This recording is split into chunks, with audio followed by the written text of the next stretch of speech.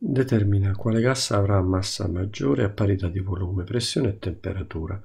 Queste sono le condizioni di validità, del principio di Avogadro, per cui volumi uguali, come in questo caso, di gas differenti hanno lo stesso identico numero di particelle, quindi il confronto ehm, può essere fatto direttamente con le masse molecolari. Dovremo determinare quindi eh, quale di questi ha la massa molecolare maggiore e quello sarà il gas che ha massa maggiore a parità di volume. Si tratterà quindi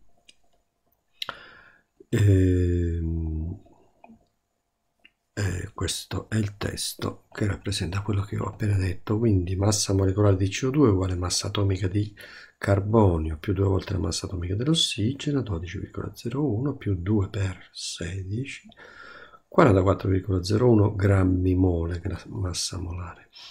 Massa molare di CH4 è uguale massa atomica di carbonio più 4 volte la massa atomica dell'idrogeno, eccola qui, 16,04 la massa molare.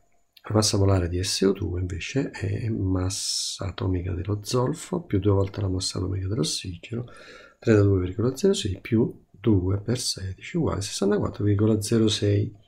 Ecco che la massa molare maggiore è quella dell'SO2, diossido di zolfo, e quindi la risposta da, da segnalare è la risposta Chi.